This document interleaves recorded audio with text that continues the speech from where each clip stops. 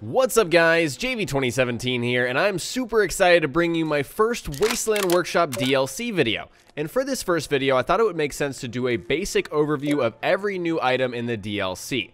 This will give some of you still wondering if you should buy the DLC in the first place a good idea of what you're paying for if you decide to. On the other hand, if you've already got Wasteland Workshop through the Season Pass or something like that, I hope this video provides a basic rundown of how each new item works. Before we begin, I want to point out that this video became a lot longer than I expected to, so I've left timestamps in the description below if you're looking for something specific like cages towards the end of the video, check the description, click on that timestamp, and it'll bring you to whatever you're looking for. So let's hop into Sanctuary and start building. First, we're going to take a look at all of the new structures, and there are a few options in here. The big one is concrete. So now you can build with all of these concrete options. I'm going to go ahead and lay the foundation for this floor here. So you kind of have all of these, of course, cost steel and concrete. Kind of have this graded kind of, uh, you know, type of floor here.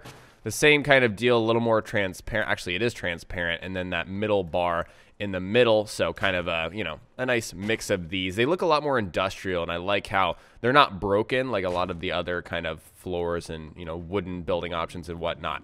We also have, of course, a concrete foundation. So if you're on an uneven surface like this, as you can tell, it's very easy to build a cool kind of uh, flat surface there. So we also have upper floors. So you can put these, actually you can't put them on the ground. Obviously this would work better with a wall. So we're going to go ahead and do that when we go to the walls. And then you have these curved floors, which is nice because we haven't had curved options before, um, you know, from the vanilla game, not, you know, including modding. So obviously you can make kind of a curved section there and then there's some railings that I'll put on there too so that's kind of a really cool option there and then we have even smaller options here so if you wanted to make some kind of very small path uh, you can do that there's also some short versions of walls so you can make a very very crowded uh, you know kind of path there angled floors as well add some new options whoops that was not intentional go ahead there we go so angled floor right there, you can do that. There's also a cool option for walls that I'll show you guys right here. So that's what we have in terms of floors. Now we've got walls. So the concrete wall, again, is very structured. Um, when you compare it to, you know, some of the wooden walls and the metal walls, they've got holes and whatnot. This is pure concrete, so you're not worrying about any of those kind of issues. Then you have a, you know, a clear doorway here that you can add a door to, which is nice. Then you have kind of almost like a window, so you can see clear through this, the grate, kind of like with uh, some of the flooring options as well. A different kind of window here, so kind of some steel bars, almost looks like a prison. And then you've got these small walls here, and you can kind of, the cool thing with these is you can put them kind of in the middle, they'll kind of snap in the middle of normal walls at different intervals. So you can really kind of, uh, you know, do some interesting variations without modding, for example, if you were going to go that route. You know, you can put a wall right there, you know, if you really wanted to do that, and then put one right there. So, you know, just giving us more options in that sense. And then you've got these pillars, obviously, to support a second floor. We'll make a second floor in a second. So you've got an angled wall. This is absolutely new, and this kind of should snap with the, the angled floor. At least I think it would. Yeah. So See, you can tell it's flat on this side, but angled on the wall. And so you can do have a lot more different interesting building options. And clearly, you know, the angled floor goes well with the angled wall. So if you that's kind of the option you wanted in terms of building, you could definitely go for that. And let's see. Any more building wall options? Of course there are. There's the curved wall. So obviously this would go really well with the curved floor right here if you wanted to go that route. Let's see. So it snaps on just like that, and then it might not be able to fit because of, you know, what I've got going on over here. Let's go ahead and remove this just to show you guys exactly how this should snap on. There. So curved wall again. So all of these different structures and kind of different variations of walls really kind of give you a lot more options than you had before just through the vanilla game, which is really cool. So moving on to roofs, we're going to go ahead and check these out. So kind of had this, almost looks like a shingle roof, but it's more structured. Again, that's kind of the nice thing about uh, the concrete building options. And then this has kind of great kind of see-through as well. So if you wanted to put this on the inside of a building, that would make sense. Maybe not for the roof of a building unless you wanted rain to come through. Let's see, what was I going to show you guys before? Oh yeah, it was the second floor. So upper floor right here. So this would also work, you know. It's actually, it almost looks like the same as the roof there. So I don't know why that's the case. Actually, it's not the same. It's got uh, some extra kind of padding up there. And so those are your roofing options for concrete. Let's go ahead and get to the second level with some concrete steps. Go ahead and snap that on. So that's our only like true staircase. And then you've got these small concrete steps that you can kind of put on the side. If you, uh, you know, have some kind of uneven surface, let's try this out with. Anyways, you guys get the point. If you need a small little step to get up to somewhere, that's how this works. Let's see. There we go. That makes the most sense right there. Aha. So you're on an uneven surface, that small staircase is good. Good option there. And then you have a lot of railing options, which is pretty cool. So I guess we should go to the second floor to look at these. So if you have some kind of open area, again, this is the difference between the, the second floor and then just the roof. The roof is, you know, a lot more industrial and whatnot. So there we go. Got some solid railing right there, and then some curved railing if you decide to, you know, let's go ahead and try this out. Let's go and make some curved flooring. Just kind of on the end here. Like so, and then some curved rails. Go ahead and uh, put that right there. So kind of a curved railing. So again, just more, more, uh, more structures, more options, and then you've got small rails. So if you wanted to use these small rails as opposed to other rails for whatever reason. And then these rails that kind of snap on the side of the uh, of the of the structure. So here, try to get them to snap. Snap for me. Come on, you could do it. There we go. So it kind of snaps on the side there as opposed to just standing on top of whatever you're trying to snap a rail to. So that's all we have for concrete building options. We've also got some new powered doors. So just like normal doors, except they require some sort of power in order to function, obviously. So we're to go ahead and set up some of these doors. We've got this first option, and they all open in a different kind of way. So let me go ahead and set up kind of a, uh, you know, a surrounding kind of thing so we can see all of them. There we go. And go ahead and attach all of these together. So as you can tell, this requires some kind of switch. It does require power. So, I mean, if you were just to hook it up to a generator, it would stay open at all times. But if you had some kind of switch or also a pressure pad, I'm sure that would work as well. You could just step on it and the door would open, which would be pretty cool. So obviously everything's on right now. If I, whoops, wrong button. get out of this mode. If I go ahead and turn off the power, they close. So you can use this in a lot of different ways, you know, with traps and whatnot if you want to do that. So let's just go ahead and look at each of these doors. So this one kind of has some kind of, um, I forget how to describe that, some kind of pulley, you know, weighted system, which is pretty cool. And it just opens to the left. This one goes to each side, which is pretty cool. This one over here also does the same thing, but looks like it's just a different color, which is, you know, pretty standard. And then also, same thing over there, just a different color. So you've got all these different options for powered doors. Very, very cool. The final set of new items in the structures category are found under miscellaneous all the way to the right past all these new items they added in a free update I think and they are buses and trailers. So I saw this in the trailer for Wasteland Workshop and I was thinking yeah maybe these are new. I don't remember being able to build these. No you couldn't build these before. So you may be wondering why the hell would you want to build a bunch of buses and trailers. For some reason this bus doesn't want to. There we go. Why would you want to build these? You know this is kind of weird. Why would you want to do this? Well, I mean, I guess you could use it for decor decorative purposes. You know, if you wanted to make a really cool kind of tree house. I know a lot of people made cool tree houses out of this tree.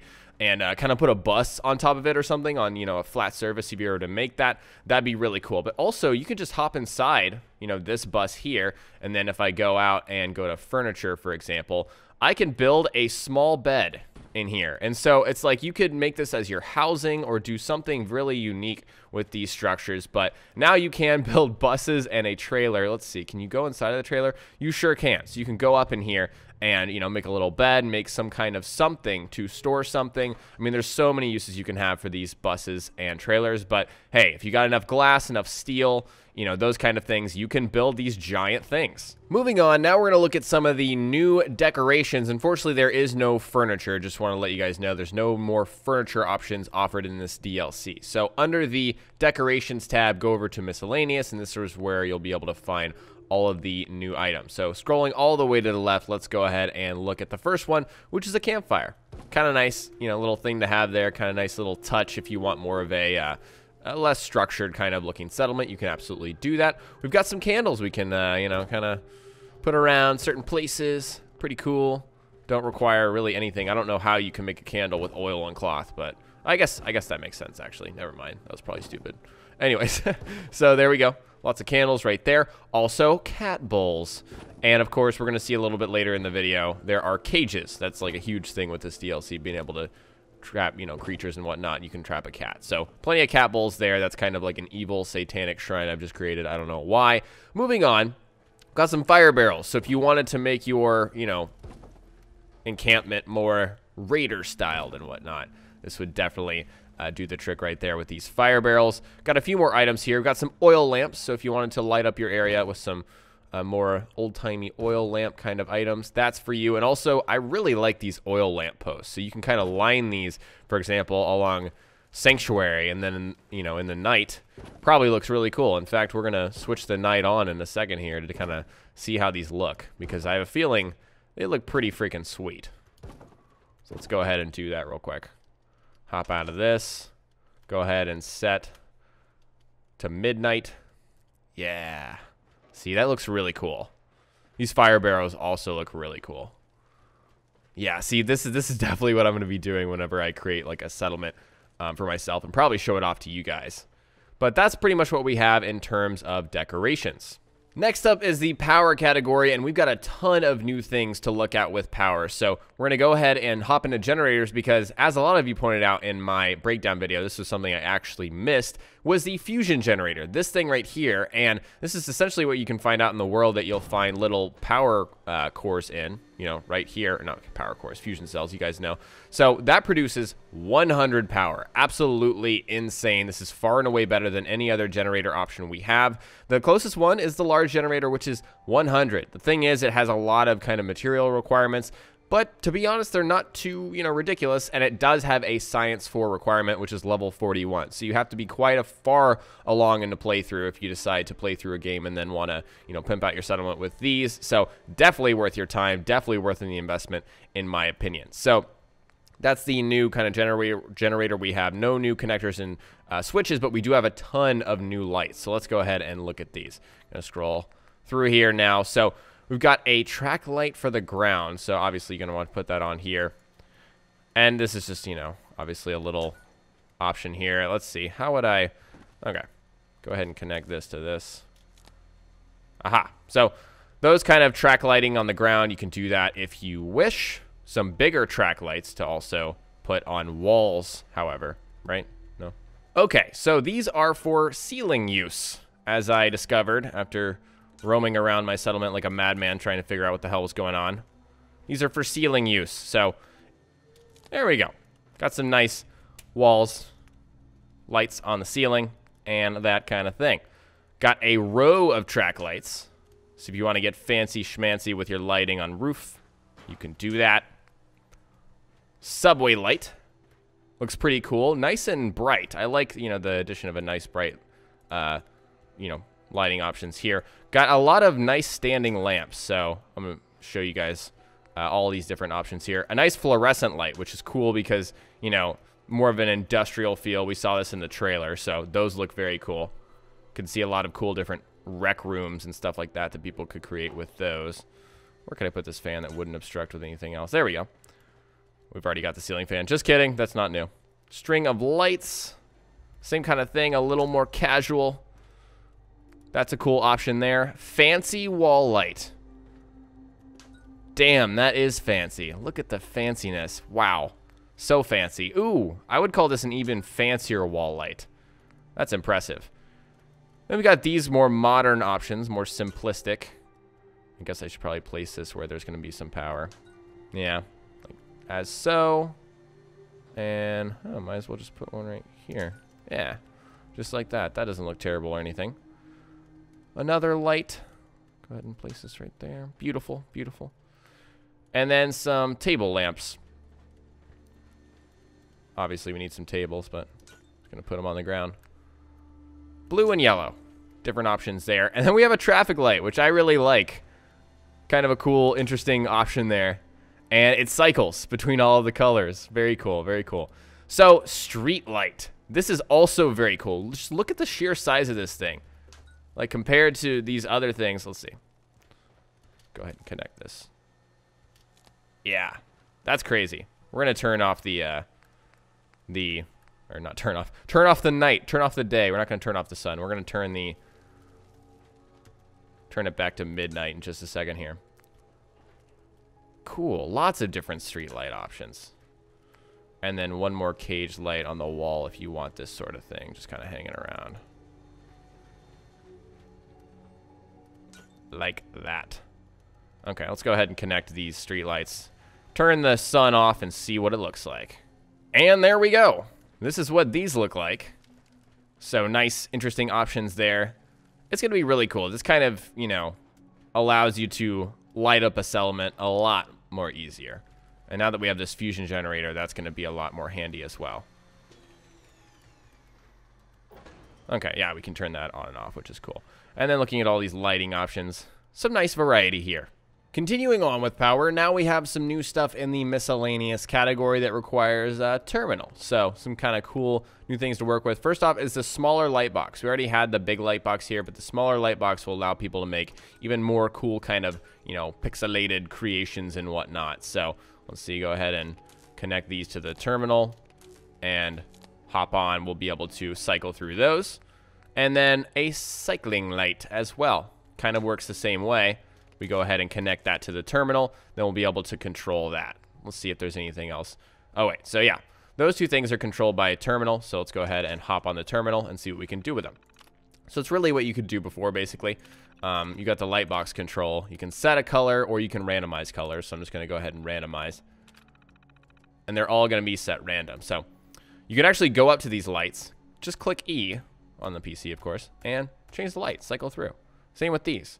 So it really, makes it really cool if you want to make some really extravagant, um, you know, kind of colored creation. You can just connect these to a terminal and then, you know, go to town. You can really just do whatever you want uh, just by going up and clicking them. So I thought that was really cool.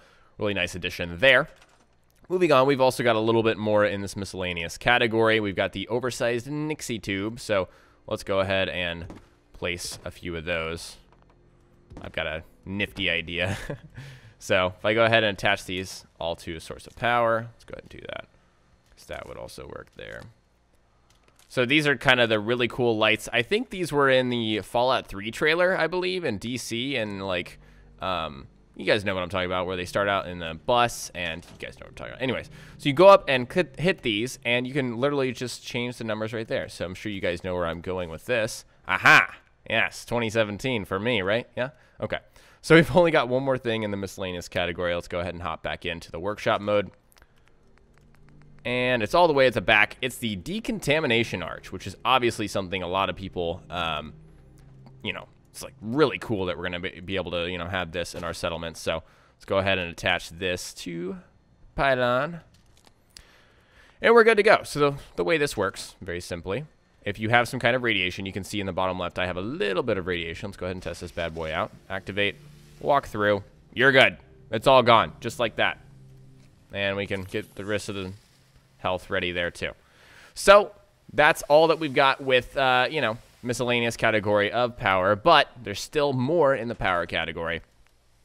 And it's all the way at the end with neon lights. So very simply, you have a bunch of different lighting kits here that you can mess around with all kinds of colors. So if I want to go in and just do, you know, A, B, C, they kind of snap next to each other, which is very cool.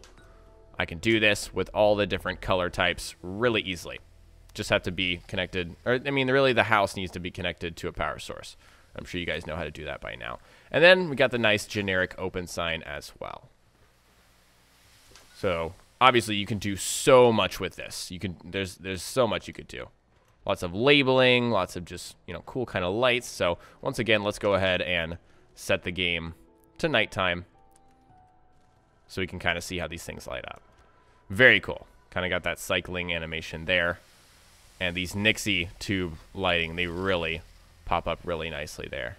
Do I have to unactivate that? Jeez. Yeah, I guess you do. that was just going on forever and ever and ever. So that's all we have with our lighting options. Our next category with new items is defenses. And so the only new category within subcategory, I guess you could call it, is traps. So we got some new traps, obviously, we saw in the trailer, some really cool options. So just going to test a few out and show you guys here. First off is the trap door. So obviously, if you walk over this, it's just going to let you through, just like that, into some awful kind of trap that you could set up at the bottom. So that's kind of a cool concept. Definitely could do a lot of things with that. We also have some different kind of spring traps on the ground. So just for example, the normal spring trap here produces one defense. It also is very brutal. Let's just go ahead and... Ugh. Yeah. Got the nice blood gushing sound effect going on there. So that's definitely something that uh, would obliterate, uh, you know, anything that comes near it. Let's go ahead and set this other version of a spring trap called the powered spring trap. We'll go ahead and put that right there. Then, of course, connect it to power because it requires power. Okay, so this is something that you'll actually need to use some kind of switch for or a pressure plate. Obviously, that would make sense to uh, attach this to a pressure plate. If somebody steps on it, then it will go ahead and spring forward and really, really hurt, obviously. so, very cool trap there. Let's see, did I miss one over here? No, I didn't miss one over here. We also have the saw blade trap, which is also very devilish and uh, very uh, intimidating. Go ahead and attach that. So you can, again, connect connect this to some kind of, um, you know, on-off switch, and that would work as well, some kind of pressure plate. Um, but, yeah, you can hear the nice cutting sound effect as it's slicing through my flesh. um, so that is also another trap. And then finally, we've got the spike trap, which is already has kind of an integrated, um, you know, pressure plate system. So each time I step on one of these traps, automatically spikes will come up and really, really hurt me. Of course, you can incorporate this with a lot of different connectors and switches like you could before. So some nice, interesting new options there. We're going to hop back into the workshop menu and look at the next category, which is resources. And we actually have something new here, something or a few things new that people probably didn't realize. And bam, we've got a powered water pump. So this is really cool because this means that in certain, you know, areas, certain settlements where, hey, you know, there's no water around, you can't, you know, put the giant pumps in the water. And then these normal tiny little water pumps, they only produce three water. So it's just not, it's not, um, you know, feasible. You know, it's not reasonable. However, we've got this new powered water pump. So if you go ahead and connect that to a generator, it's going to pump water out of the ground and produce more water for you. So kind of a cool little, uh, you know, resource there we can mess with. And we've also got garden plots, which are very, very cool as well. For the same kind of reason, if you're in some kind of settlement that doesn't have a lot of dirt, which there are settlements that are like entirely concrete, which is like, you know, where do you get your food? It doesn't make sense. You can just go up on a second story or go on the concrete ground, do some garden plots, and then, hey, build some carrots. You know, put these here. Make room and, you know, have some food, some resources right here in a place where it really does, didn't make sense before. Now you could do it because of the garden plot. You can do this anywhere, essentially, any kind of flat surface, which is a very cool option.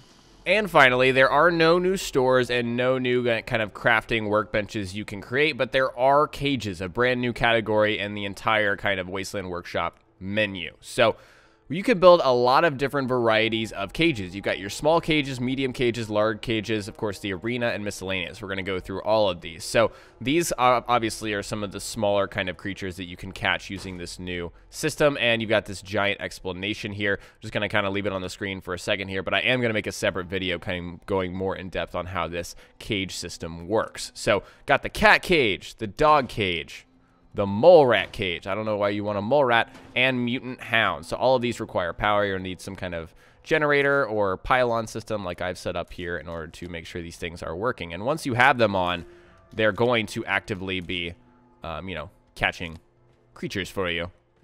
Well, you know, in the process of attracting whatever you need. But you will need certain specific catered uh, you know, resources in order to capture these things. So, you know, for example, to catch a feral ghoul cage in the medium category, I'm going to need some mongrel dog meat. You know, to get a gunner, I'm going to need some bottle caps because gunners are greedy, right? In order to get an insect of some kind, I'm going to need copper. Not copper, mole rat meat. So, jet for raiders. Obviously, that makes sense. Raiders love jet and then Super Mutant Cage. So these are just different colors. I mean, they're really not um, unique in any other way than that. But, of course, we'll need to attach all of these to the, uh, to the generator. And string that like that. So, just different colors. They all kind of look a little bit different. Yeah, you've got some... Uh, some nice chems in there. I don't know what kind of... I guess all of the, you know, the creatures and, you know, things you're going to catch are really dumb because it seems like these are not very, uh, not very convincing cages to me.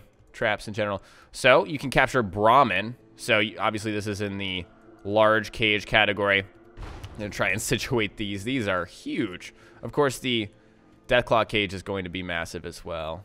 Okay, so we're going to place a Mirelurk cage there. It's kind of got some eggs in there to attract the, uh, the Mirelurks, of course. Rad Scorpion, Rad Stag, which has carrots, which is kind of funny. And then the Yaoguai, which needs Rad, Rad Stag meat. It's kind of like they build on each other. So let's go ahead and connect all of these